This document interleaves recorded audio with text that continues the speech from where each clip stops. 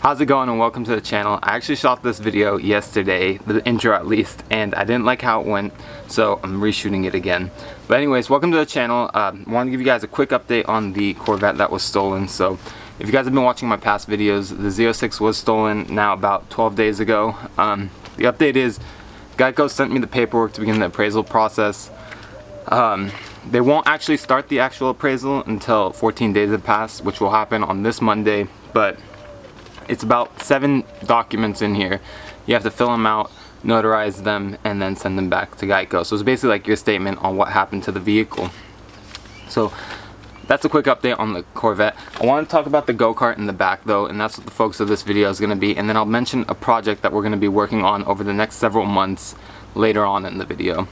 And I got a new mic by the way, so thank you for all the feedback to everyone who um, did leave feedback on the past videos, and I hope the quality of the audio is a lot better in these videos.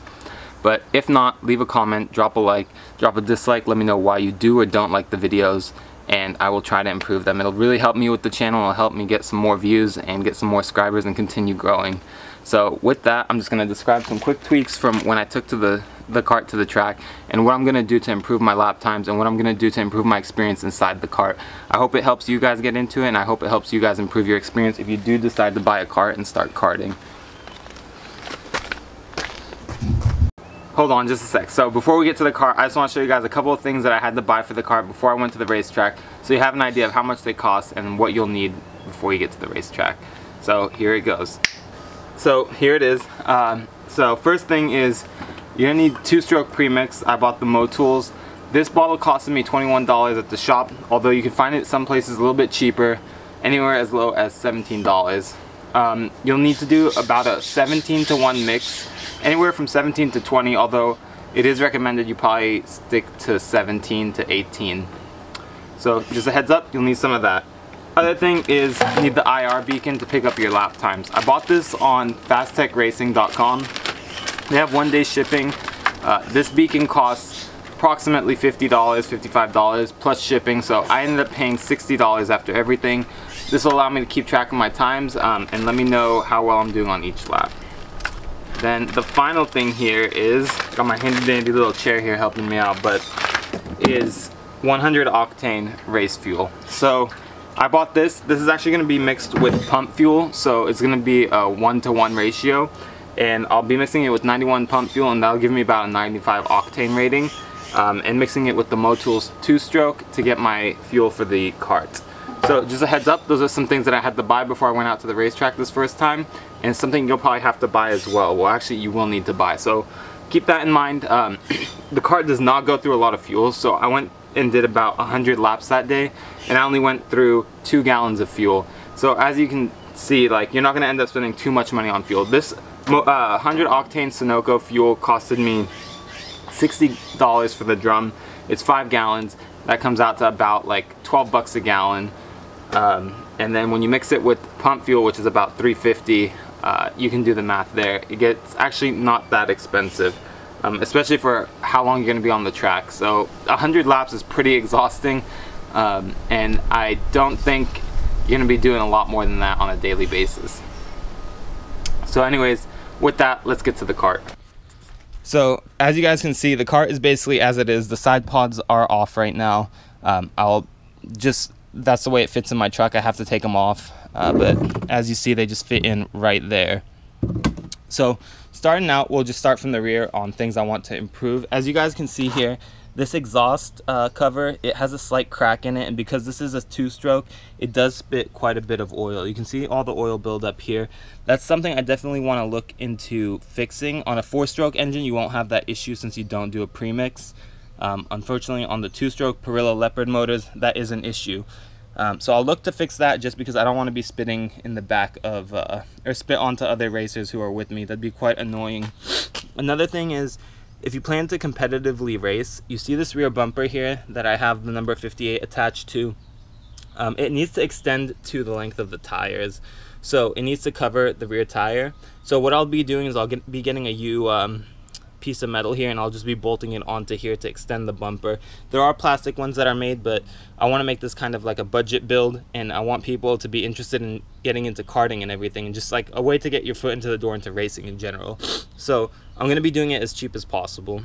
Um, next thing I just want to cover is this chain here. So one thing to note while you're constantly um, running the cart is you always want to keep this lubed because it will end up snapping if you don't. Um, so just a heads up on that. Um, something to definitely note. And then as we move on up to the seat, um, as you can see, it's all here. Um, one thing is if you look right here, this wear that's happening down here and that's because the seat is sitting just slightly too low i'll go over how i'm going to fix that in a later video but i just want to mention that the seat is also a bit too large for me so with these types of carts there's a lot of vibration going on and in fact there's so much vibration that when you're racing it can actually start, cause you to start having trouble breathing. And that's what was happening to me with these tires that are on the the cart now versus the seven inches i have it propped up on the back.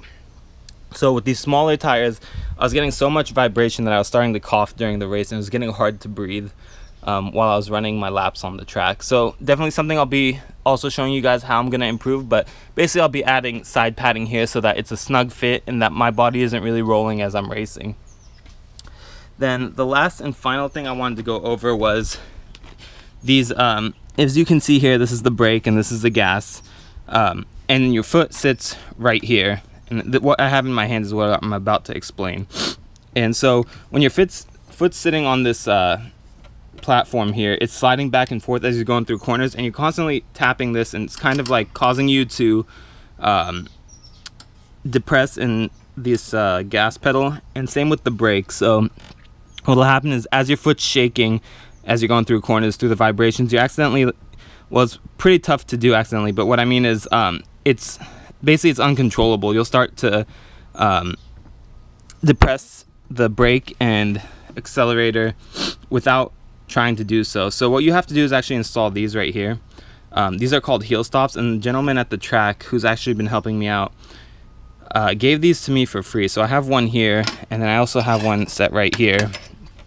But basically what I'll do is I will drill into this base plate and put them in a position where my heel can rest against these and then when I'm going through a corner and say I don't want to use uh, the accelerator or the brake I can rest my heel here without having to worry about putting it onto the brake pedal or the uh, gas pedal so I'll be going over how I do that as well definitely some tips so those are things that are gonna help improve my experience and I think I'm gonna try and do them before I get back out to the track oh yeah and then one last thing is as you guys can see I have the MyChron 3 right here um, starts up and everything.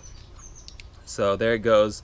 That tracks my times. Now, with that said, you need to have this transmitter here in a position where it's not going to be, um, it's basically going to get picked up by the infrared transmitter that you have on the track. And so when it's sitting up here, for some reason, it does not always pick up. And I've been told that mounting it actually down right here is a lot better position. So I'll be zip tying it to this pole here. So I'll reposition that into a place where I think it'll get a little bit better readings and my track times will always be tracked. Um, that being said, so that's the majority of what I wanted to talk about uh, as far as like the video goes. And I'll be going over some more stuff, but to the $500 race car. So me and my friend Alex are actually doing, I don't know if I had a bug right there, what it was, but something irritating my neck, are gonna be doing 24 hours of lemons. Um, sorry about that, something keeps irritating my neck. But yeah, so we're gonna be doing 24 hours of lemons and we're gonna be building a car from the ground up. We're using a 94 uh, Mustang chassis and we've actually bought an engine with a Pro Charger on it for $150 out of a T-Bird that we'll hopefully rebuild and get in the car. We were planning on doing the race in September, um, but I think it's a little bit too soon. Um, and issue being that we don't even have a roll cage or anything in the car and we're trying to budget build this car. So we're trying to keep it under $500 and get everything going in it. But when you're cramped on time, you kind of can't shop for deals. So we're gonna be doing the December race at the Sonoma Raceway and we have a team of six drivers right now. So I will be covering a lot of that build. It's something that I hopefully we'll bring to the channel. Um, first video will probably drop in a couple days for that. And um, hopefully it's something that you guys will be interested in just to see how we build the car, how we put it together, and how we keep the build below $500.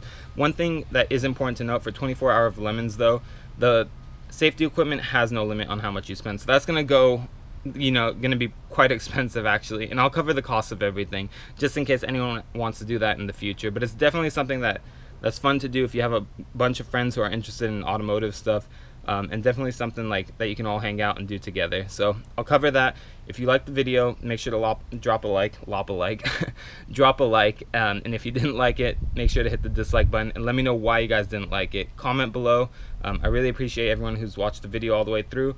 And like i said if you did like the channel and the uh, content that i'm putting out do hit the subscribe button can't really talk right now because uh, I guess I'm shy in front of the camera. But yeah, so hit the subscribe button if you like the video. Please help me. But yeah, alright, thank you, and bye.